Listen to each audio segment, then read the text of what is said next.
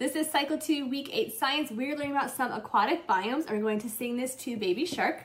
The hand motions are going to be ponds and then make it wider for lakes. Ponds, lakes. Streams are going to be a skinny, a skinny little wavy stream, and then for rivers, we'll widen our hands. You, if it's too hard for your younger class, just do this for streams and rivers. Wetlands, estuaries, and then oceans and seas. Let me sing it first and then we'll try it with the hand motions. So baby shark, what are some aquatic biomes, ponds and lakes, streams and rivers, wetlands, estuaries, oceans and seas, do do do do do do.